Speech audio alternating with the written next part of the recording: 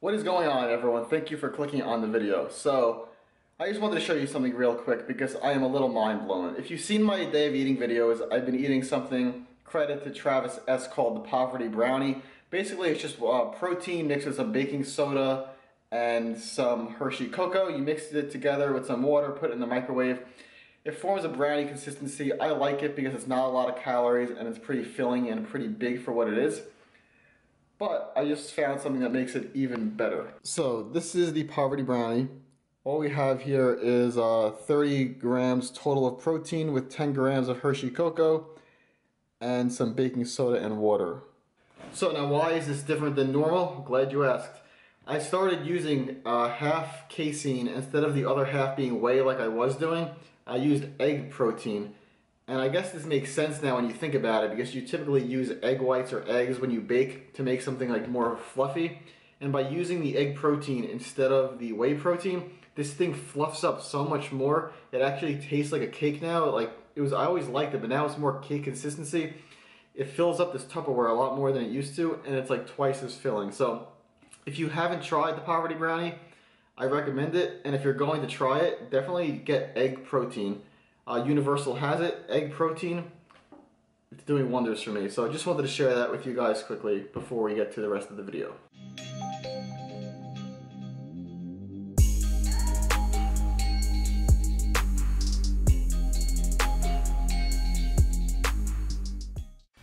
What's up guys, welcome to my latest lower strength workout. Uh, I realized as I'm about to record this that the workout footage is actually shorter than I thought it was, but I'll take you through this quickly and explain a bit along the way. Um, so I recently switched back to an upper lower split from what I was doing, which was like 5/3/1 style training. What I have been doing as far as my progression on the main lifts of squat, deadlift, bench, overhead press I do four sets total, and I, on week one I do three reps. Week two I do four. Week three I do five. So four sets of three, four sets of four, four sets of five. After those three weeks, if everything goes well, I bump up the weight five pounds and I start back at the bottom. So here you see me doing 320 on squats. This is week four on the routine. So I did start with 315 worked my way up to uh, four sets of five, and now I am up five pounds and doing four sets of three in this workout. And like I said, I'm doing that with all of the lifts. So this workout, it's only four exercises, and I get a lot of comments from people like, "Oh, you only do four exercises for your lower body day." Uh, yeah, so I'll get to that in a second. I don't really love doing deadlifts right after squats, but the reason I do like it is because by doing it on this workout, I don't have to do it later in the week, and it allows me to have a full dedicated leg day rather than have to waste like 40 minutes or 35 minutes deadlifting because deadlifting and squatting heavy it takes time to warm up. I would say my warm up for squats and deads each is like 15 minutes. So this workout despite only being four exercises is probably my longest workout at roughly like an hour and 40 minutes. I probably spend 40 minutes squatting and deadlifting um, all inclusive with the warm up. And then after that, I move on to leg press and calf raises, which is quicker. But the only reason it's four exercises is because it's a strength workout. So it's focused on strength. And then keep in mind my hypertrophy day during the week for legs. That's all focused on volume sets. I do drop sets. So between the two of them, it's plenty of volume, don't you worry. So even though it's only four exercises, it is it is a long workout and it is plenty. So when you watch this footage, you might get the wrong idea because I, I thought that the footage was longer myself because the workout took so long. But then when you edit it, I didn't film all my sets. It came out to be a lot shorter, but it is actually my most difficult long workout, I would say. And as far as what I did is, like I said, four sets of squats, four sets of deadlifts, three sets on this leg press, four sets on the calf raises, and then I figure I put abs on my lower day. I hate doing abs. This is already a difficult workout, so I'm like, hey, why not make it a little bit worse? And I throw abs in here. Um, I only do abs once a week because I do figure that they do get stimulated with almost every workout during the week. So I just train them hard once a week, and that seems to be sufficient. But you could do them twice a week if you wish. Um, I don't really think it's necessary to do more than twice a week. Uh, as far as the abs, I do this exercise right here, three sets of 10. And what's not showing is I did another superset of like a weighted crunch machine and like a body weight crunch machine. But like I said, I did not film that, only film this. And that is the whole workout. So like I said, it's only four exercises, but don't let that fool you. They are pretty tough. They do take a while. This workout overall, it's about an hour and 40 minutes, probably my longest workout, I would say. Um, but stick around for the rest of the video as I am going to be trying two brand new flavors of Halo Top on camera that I haven't tried before. So stick around if you do want to see that.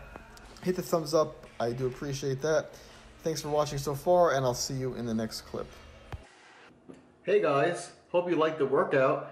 So we are going to finish up this video with two separate Halo Top flavors that I haven't tried before on two separate days. So first today I am going to try the brand new gingerbread house flavor. I don't know what this is going to taste like. I don't even know what gingerbread is. But I'm going to have this one today. And then tomorrow, which is also going to be part of this video, we'll wrap up the video with the oatmeal vegan flavor. So first, let's try this. It actually looks good. Ooh, it's very creamy. This one's not vegan. Mmm. Okay. I didn't really know what gingerbread tasted like. But now that I'm tasting it, it's coming back to me. So this might surprise you, but this gingerbread actually tastes like gingerbread. It's actually really good. But more importantly, more than the flavor, is the creaminess. So this is a good flavor. The ginger is not my favorite overall, but there's chunks of like cookie in it. And I really like the creaminess, so I definitely approve. So that's Gingerbread House. And like I said, we will finish up the video tomorrow with oatmeal cookie. So stay tuned, and then that will be the rest of the video. Not gonna be, not gonna lie, I'm actually not that excited to try. So it's the oatmeal cookie, and it's the vegan one. So between being oatmeal, which doesn't sound very exciting, and vegan all together, I don't know how good it could be. So my expectations are low, which is probably good because they could really only exceed my expectation at this point. So just from sticking the spoon in, it's actually creamier than I expected, so that's a good thing. Wow. Okay. I'm pleasantly surprised by the oatmeal cookie. It's creamy. It has a nice like oatmeal cookie texture and taste. There's some kind of chunk in it. This one's actually very good. If you like oatmeal cookies, this tastes exactly like an oatmeal cookie in ice cream form.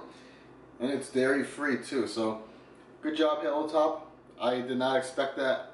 This is actually very good, so I am going to go sit down and eat the rest of it. That's going to wrap up this video.